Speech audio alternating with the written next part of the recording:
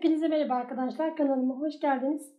Bugün sizlere Kurban Bayramlarında e, yaptığımız ve sonrasında da afiyetle tükettiğimiz kavurma tarifini vereceğim. Kavurma için hem etin yağlarından ayırarak yap, ıı, tencerenin içine alıyorum hem de yağlı bir et kullanmamız gerekiyor. 1 kilo et için ortalama 300 gram kadar e, yağı öncelikle derin bir tencerenin içine alalım.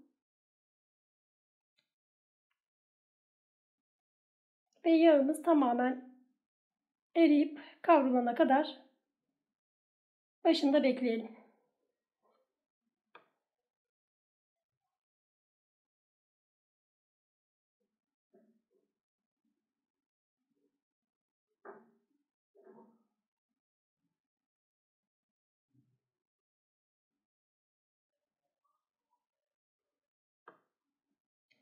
Evet yağlarım eridi. Şimdi üzerine Kuşbaşı doğradığım dana etini ekliyorum.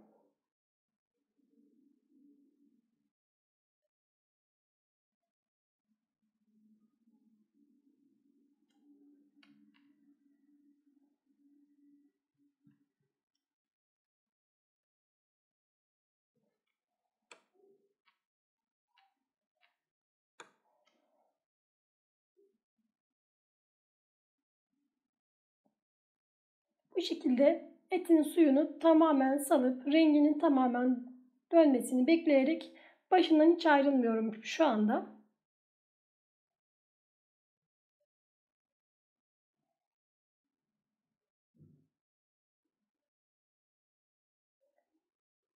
Evet şimdi şu aşamada tekrar bir karıştırıyorum. Bakın tamamen çoğunun rengi döndü ve suyunu da tamamen verdi. Bakın su miktarı tencerede arttı.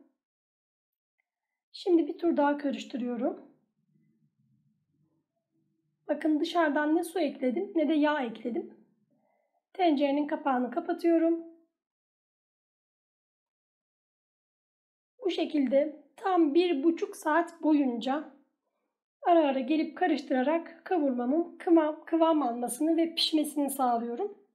Şimdi e, bakın bir saatin sonu Bakıyorum kıvamına. Gayet güzel pişmiş gibi. Ama tabi e, bu şekilde pişmesini istemiyorum. Ben yağda tamamen kavrulmasını istiyorum. Yine tencerenin kapağını kapatıp pişirmeye devam ediyorum. Yine kontrol edin bu aşamada. Bu süreçte kontrol etmeniz gerekiyor. Sürekli karıştırmanız gerekiyor. Çünkü e, belki ocağın ayarından dolayı dibi tutabilir. Pişip pişmediğini kontrol edebilirsiniz. Ben şu an kontrol ediyorum. Sanırım birazcık daha pişmeye ihtiyacı var. Düdüklüye koymadım. Tencerede yaptım. Hepimizin kolaylıkla ulaşabileceği bir alet olsun istedim. Zaten kavurma düdüklüde olmaz. Hani haşlama et e, tarzı etler olabilir düdüklüde ama kavurmanın en önemli özelliği e, zaten ağzının açık olarak pişmesidir. Ama ben hani ev ortamında yaptığım için e, davlumbaz ve etraf daha fazla yağ olmasın diye tencerenin ağzını kapatarak pişirdim. Ama bahçe gibi bir yerde pişirseydik e, tabii ki de ağzı açık şekilde yüksek ateşte kavura kavura pişirilirdi. Zaten e, asıl kavurmanın lezzeti de eminim o orada daha lezzetli olacaktır.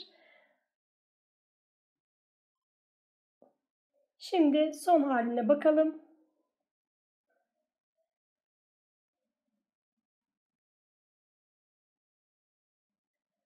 Kavurmam bu şekilde. Birazcık daha tutacağım ben ocakta. Tamamen bütün yağlarda yağın içinde komple kavrulsun istiyorum etlerim. Şu anda bile bana göre olmamış demek. Ama dilerseniz siz o aşamada ocaktan alabilirsiniz.